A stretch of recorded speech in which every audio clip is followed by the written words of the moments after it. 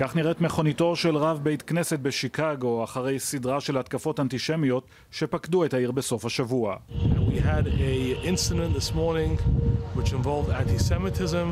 and and the police on top of it. זה היה סוף שבוע לא נעים ליהודי אזור שיקגו, שורה של תקריות השחתת רכוש נגד מוסדות יהודיים הצליחה לערער את תחושת הביטחון של חברי הקהילה. Well, there are concerns this morning after at least two synagogues were vandalized in one neighborhood. איש לא נפגע בתקריות האלה והנזק הממשי שנגרם היה קטן, אבל היה בו די כדי להדגיש שוב כי שנאת יהודים עדיין קיימת, גם אם בשוליים. But of all these incidents are stark reminders we have been unrelenting in making our communities safer. We can never, ever downplay hate. המשטרה מאמינה כי מאחורי התקריות עומד חשוד אחד, שהיד חוסיין, והוא נעצר אתמול.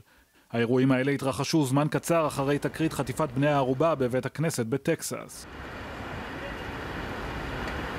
בעקבות האירוע פנו מנהיגים בקהילה היהודית וחברי קונגרס לממשל בקריאה להכפיל את תקציב הסיוע להגנה על בתי כנסת כדי להתמודד עם האיומים. והאיומים האלה לא פוסקים. Workers here at Union Station have spent the morning trying to cover up these racist marks and graffiti, 100 of these racist tags. צלבי הקרס האלה בוושינגטון התגלו סמוך מאוד לגבעת הקפיטול, ובאורלנדו נאלצו התושבים לחזות במראות האלה. Demonstrators wearing Nazi clothing could be seen near UCF on Saturday and on an overpass along I 4 on Sunday. Some of you were even sending pictures into our newsroom as this was happening. המפגינים לא הסתפקו בהנפת צלבי קרס, אלא גם תקפו במכות סטודנט יהודי.